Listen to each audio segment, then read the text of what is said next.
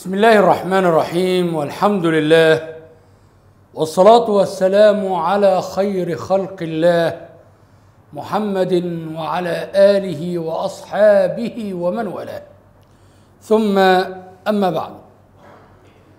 كثرت في الفترة الأخيرة مسألة الطلاق. ووجدوا أن مصر من أكثر الدول طلاق. مع أن أبغض الحلال عند الله الطلاق. من أهم أسباب هذا الطلاق إن في زوجات كتير قوي تأخذ أموال من ورا جوزها. فيجي الزوج يكتشف الموضوع ده فيروح مطلقها.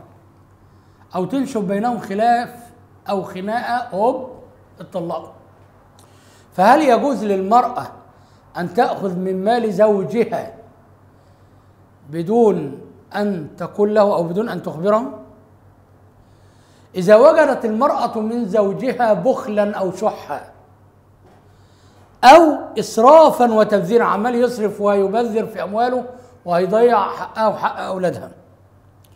جاز لها في هذه الحالة فقط أن تأخذ من مال زوجها بدون أن تخبره ما تدعو إليها الحاجة سواء حاجتها أو حاجة أولادها. مصروف بيتها وأولادها فقط.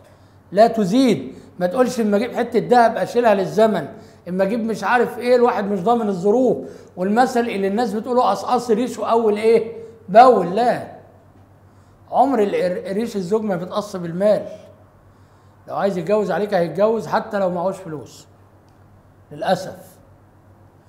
فالدليل على كده إيه يا جماعة؟ ما ورد في الصحيحين من حديث هند حينما ذهبت وقالت يا رسول الله إن أبا سفيان رجل شحيح يعني بخيل جلدة لا يعطيني ما يكفيني وبنيه.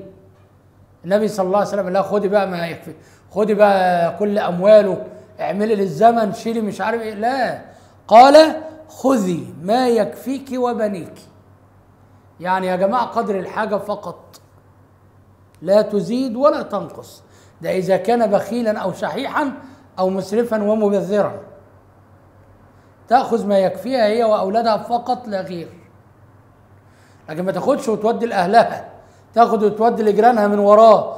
تاخد وتجيب مش عارف خاتم لا حلق لا اسوره كل الكلام ده لا يجوز. كما قال النبي صلى الله عليه وسلم وندعو الله عز وجل شبابنا وشاباتنا إن هم يضبطوا النفس ويتحكموا في نفسهم. عيب كبير قوي لما تبقى مصر بلد إسلامية كبيرة وبلد الأزهر وأكثر نسبة طلاق في مصر.